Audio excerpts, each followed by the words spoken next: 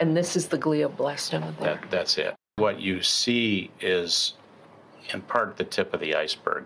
Glioblastoma is the deadliest form of brain cancer, with a median survival rate of 14.6 months.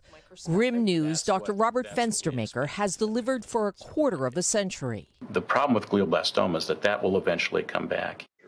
Microscopic cells that remain even after surgery, chemotherapy, and radiation.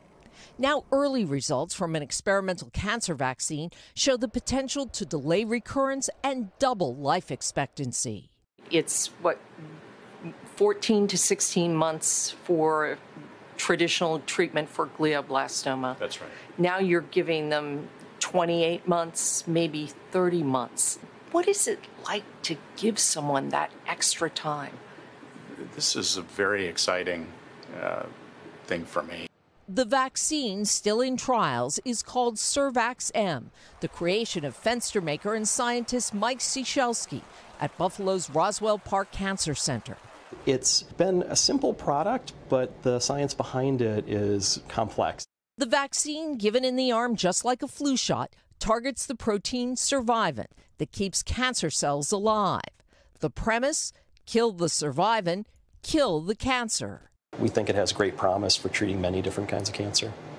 And there are now early studies looking at SurVaxM for multiple myeloma and children's brain tumors. I've just felt that, you know, there, there can't be any downside to doing it.